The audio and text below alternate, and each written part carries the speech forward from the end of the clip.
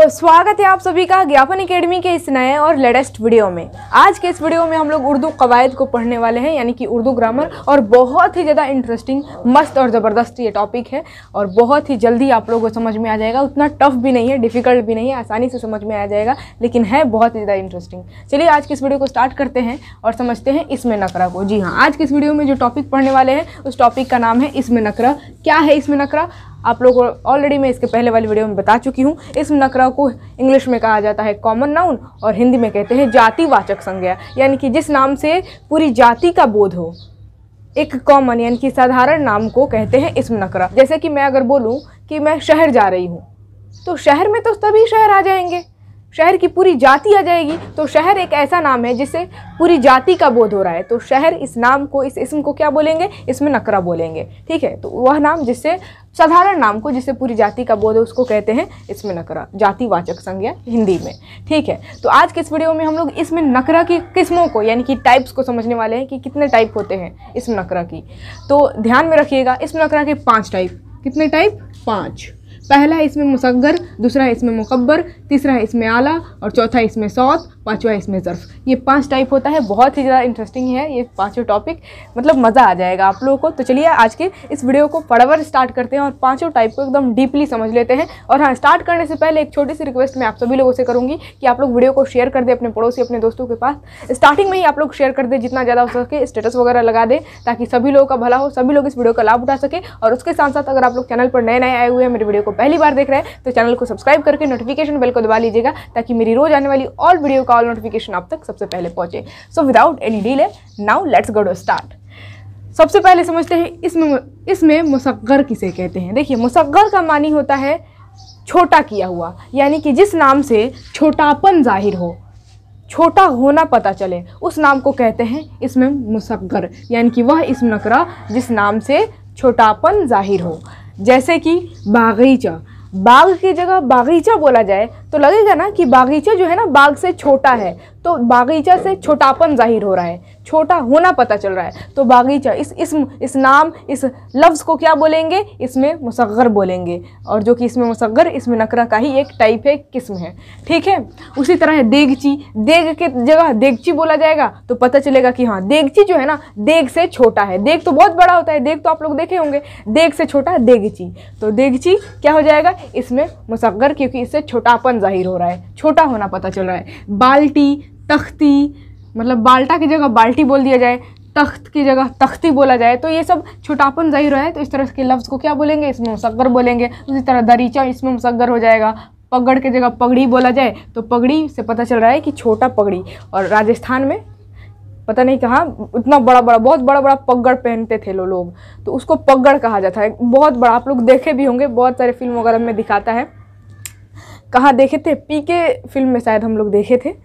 हाँ पी के फ़िल्म में भी दिखाया है। बहुत बड़ा बड़ा पगड़ होता है, जो कि राजस्थान के लोग, पता नहीं कहाँ के लोग पहनते हैं तो वो हो गया पगड़, जो कि बहुत बड़ा बड़ा होता है। लेकिन पगड़ से छोटा होता है पगड़ी, ठीक है? तो पगड़ी क्या हो गया? इसमें मुसग्गर हो गया, वगैरह वगैरह, जिस नाम से छोटापन ज़ाहिर हो, उसको आप लोग बिना मतलब सोचे, समझे, इसमें मुसग्गर टिक कर दीजिएगा। अगर क्वेश्चन पूछे आप लोग के एग्ज़ाम में, ये तो हंड्रेड परसेंट है नो डाउट मैं हंड्रेड परसेंट गारंटी ठोक कर पूछ, बोल रही हूँ आप सभी लोगों से कि यहाँ से आप लोग का क्वेश्चन तो आएगा ही आएगा। हर साल इस टॉपिक से क्वेश्चन पूछा जाता है।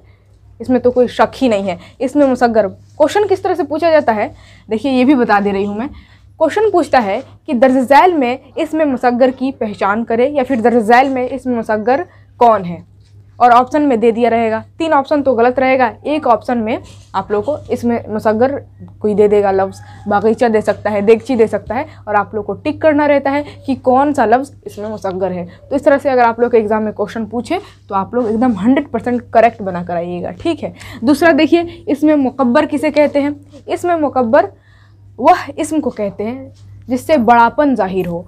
मकबर का मतलब होता है बड़ा किया हुआ। जिस नाम से बड़ापन ज़ाहिर हो, बड़ा होना पता चले, उस नाम को क्या कहते हैं? इसमें मकबर जैसे कि बाग। बागीचा की जगह बाग बोला जाए तो पता चलेगा कि बाग क्या है? बागीचा से बड़ा है तो बाग हो जाएगा इसमें मुकब्बर। देग बोला जाए देग पता चले देग से पता चल रहा है कि हाँ बड़ा वाला देग है।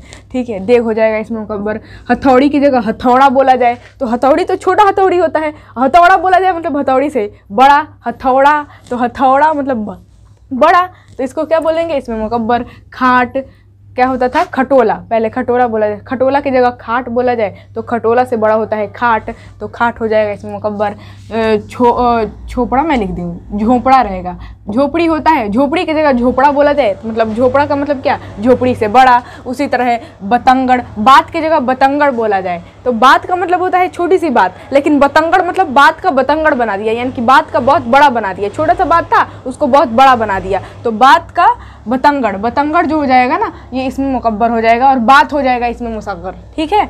वगैरह वगैरह, बहुत सारे नाम है जिससे बड़ापन ज़ाहिर होता है तो उसको बोल देंगे इसमें मुकबर और ध्यान में रखिएगा। अगर कोई भी क्वेश्चन इस टॉपिक से आप लोग के एग्ज़ाम में पूछे, चाहे टेंथ क्लास हो या फिर ट्वेल्थ क्लास आप लोग एकदम हंड्रेड परसेंट सही बना कर आइएगा, क्योंकि हर एक एक पॉइंट डीपली जाकर मैं आप लोग को समझाते चल रही हूँ एक एक करके। ठीक है? आगे देखिए, तीसरा है इसमें आला इसमें आला उस इसम को कहते हैं, उस नाम को कहते हैं, जिससे औज़ार या फिर हथियार का होना पता चले। यानी कि औज़ार या फिर हथियार के नाम को हम लोग इसमें आला कहते हैं। जैसे कि चाकू। चाकू जो है ना, एक तरह से औज़ार भी है और हथियार भी है। चाकू से सब्ज़ी काटने का भी काम होता है और किसी का मर्डर करने का भी। ऐसा तो करना नहीं चाहिए मतलब चाकू दोनों है। ठीक है सेफ्टी के लिए भी यूज़ कर सकते हैं और इसको सब्ज़ी काटने के लिए भी। तो ये दोनों है औज़ार या फिर हथियार दोनों हैं, लेकिन कोई कोई ऐसा मतलब नाम होता है, कोई कोई ऐसा आप बोल सकते हैं, इसम होता है, जो कि या तो वो औज़ार ही रहेगा, नहीं तो हथियार ही रहेगा। जैसे कि आप बोल सकते हैं थर्मामीटर। थर्म, थर्मामीटर क्या है? ये हथियार थोड़ा ना है, ये औज़ार है, जिससे मतलब थर्मामीटर से माप की जाती है। तो ये चाकू, छुरी, तलवार, बंदूक, थर्मामीटर, पेचकश ठीक है? ये सब क्या हो जाएगा? इसमें आला, क्योंकि इससे औज़ार या फिर हथियार का पता चल रहा है। तलवार क्या है? बंदूक क्या है? थर्मामीटर क्या है? पेचकश क्या है? इससे पता चलेगा कि हाँ ये या तो कोई औज़ार है, नहीं तो हथियार है। तो या, औज़ार या फिर हथियार के नाम को इसमें आला कहते हैं। उसके बाद है, इसमें सौत। इसमें सौत कहते हैं, किसी भी चीज़ या फिर जानदार की आवाज़ के नाम को। कोई भी चीज़ का नाम, जैसे कि टक टक टन टन ढम ढम ढब ढब ये किसी ना किसी चीज़ का नाम है ना, आवाज़ का नाम है तो ये सभी नाम, या फिर जानदार का नाम, किसी भी जीव जंतु का नाम, म्याऊ म्याऊ हो गया काय काय हो गया, भों भो हो गया तो किसी भी जानदार या फिर किसी भी चीज़ के आवाज़ के नाम को क्या कहते हैं? इसमें सौत कहते हैं। तो एग्ज़ाम्पल तो आप लोग देख ही सकते हैं, लंबा चौड़ा मैं लिख भी दी हूँ, म्याऊ म्याऊ काय काय छम छम, टन टन, ढम ढम वगैरह वगैरह, ये सब क्या हो जाएगा? आवाज़ का नाम इसमें सौत कहलाएगा। उसके बाद लास्ट है पाँचवा, इसमें ज़र्फ़। इसमें ज़र्फ़ कहते हैं जगह या फिर वक्त के नाम को। कोई भी जगह या फिर वक्त के नाम को कहते हैं, इसमें ज़र्फ़, जैसे कि घर। घर जगह का नाम ही है ना तो घर को बोल देंगे इसमें ज़र्फ़। मदरसा, ये भी जगह का नाम है। मदरसा हो जाएगा इसमें ज़र्फ़। मस्जिद, स्कूल, ये सब क्या हो जाएगा? इसमें ज़र्फ़। यहाँ तक कि ये वक्त का नाम है। सुबह, दोपहर, शाम, रात, ये भी हो जाएगा। वक्त के नाम को भी कहते हैं इसमें ज़र्फ़। और इसीलिए इसमें ज़र्फ़ की दो टाइप होती हैं, याद रखिएगा। एक होता है इसमें ज़र्फ़ मकान और एक होता है इसमें ज़र्फ़ ज़मा। मका कहते हैं जगह के नाम को। ठीक है?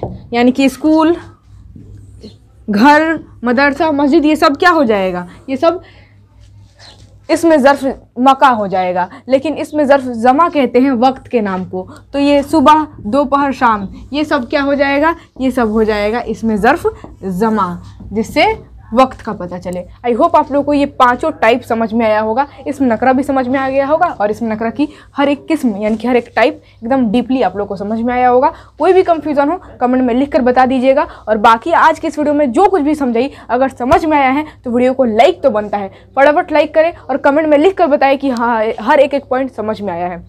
देखिए, जो कुछ भी मैं आप लोग को समझाती हूँ ना, समझ में आता है तो तुरंत लाइक कर दे शेयर कर दे, खुश होकर अपने पड़ोसी, अपने दोस्तों के पास, ताकि सभी लोग इस वीडियो का लाभ उठा सके। फ़िलहाल अगर आप लोग यहाँ तक स्क्रीन लेना चाहते हैं तो कोई दिक्कत ही नहीं है, ले लीजिए फटाफट स्क्रीन शॉट तो चलिए, आज के इस वीडियो को यहीं पर एंड करते हैं। जाते जाते एक और बात मैं आप लोगों से बताना चाहूँगी कि अगर आप लोग चैनल पर नए नए आए हुए हैं, मेरे वीडियो को पहली बार देख रहे हैं तो चैनल को सब्सक्राइब करके नोटिफिकेशन बिल को दबा लीजिएगा। उससे होगा ये कि मेरी रोज आने वाली ऑल वीडियो का ऑल नोटिफिकेशन आप तक सबसे पहले पहुँचेगा। ठीक है, फिर मिलेंगे अगले वीडियो में अगले टॉपिक के साथ। तब तक के लिए जय हिंद और खुदा हाफिज़।